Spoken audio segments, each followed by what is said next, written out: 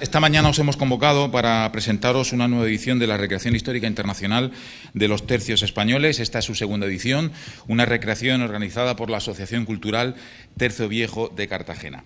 El Tercio Viejo de Cartagena es una asociación cultural sin ánimo de lucro que tiene por finalidad rememorar y revalorizar el siglo de oro español y profundizar en el estudio de aquellos hechos singulares del ámbito de la cultura la política, los valores humanos y el arte militar que hicieron que España fuera un gran imperio y un referente mundial.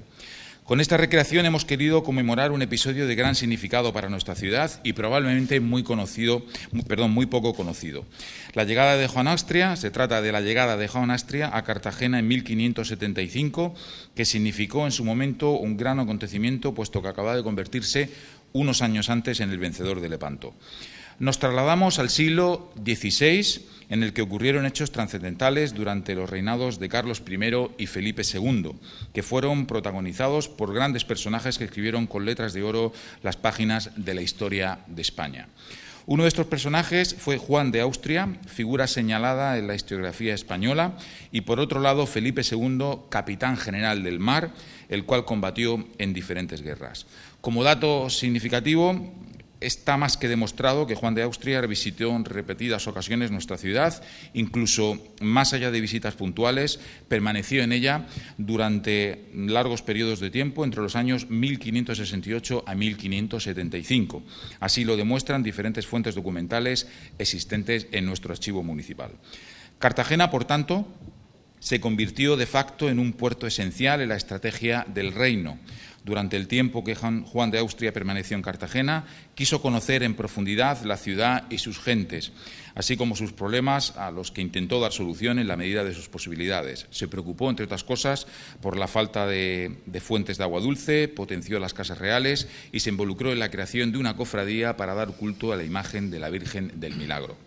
Una de las finalidades de la Asociación Tercio Viejo de Cartagena es la de rememorar estos hechos singulares ocurridos entre 1500 y 1650, que en definitiva resalten los valores de los hombres y mujeres de aquella irrepetible época.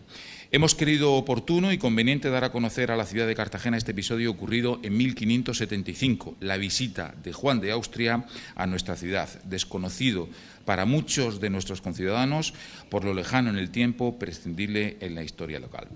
Eh, voy a exponer a continuación el programa de actividades que tenemos prevista para, para el fin de semana del 25, 26 y 27 de noviembre, en el que vamos a conmemorar la llegada de Juan de Austria en 1575 a la ciudad de Cartagena. Comenzaremos el, día, el, viernes 25 con una conferencia que tendrá lugar a las, siete y media de la tarde en, el Salón de Actos de la Fundación Mediterráneo, que está en la calle Mayor número 11. La conferencia será, eh, lleva por título El vestido a través de los retratos de Juan de Austria y de los hombres y mujeres que compartieron su vida. La conferencia la va a dar eh, Celia Alegre, que es experta en vestuario, en concreto de los siglos XVI y XVII. Es asesora de vestuario en, diferentes recreaciones y además pues ella participa como diseñadora de vestuario en certámenes y en obras de teatro.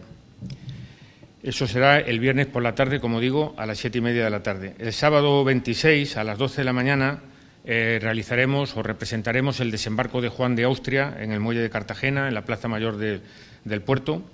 Eh, se realizará cuando Juan de Austria desembarque, se, le, se les eh, rendirá honores con unas salvas de, salvas de saludo y pasará revista a los tercios que estarán formados en la, en la Plaza Mayor del puerto.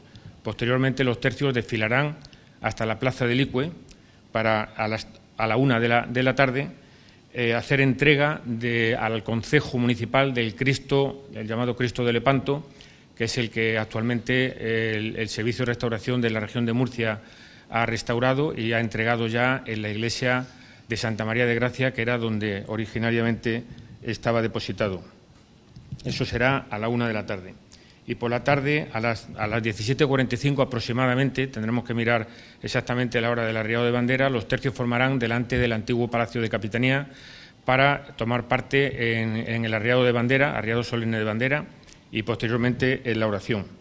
El resto del tiempo incluido eh, los huecos que haya entre, estas actividades y la, y la, mañana del domingo, los tercios harán por la calle de Cartagena, fundamentalmente por la calle Mayor, calle Carmen y Plaza de Licue harán alardes y se, eh, montarán algunos talleres de, la época en la que ocurrieron estos hechos. Y, finalmente, pues eh, el domingo, el domingo 27 a la una de la tarde esperamos que finalice el evento y los, recreadores que han venido a representar a los tercios pues regresarán a sus lugares de origen. Estos recreadores vienen de diferentes puntos de España, esperamos que haya asistencia también de otros países y en total pues calculamos que habrá entre 100 y 120 recreadores por las calles de Cartagena.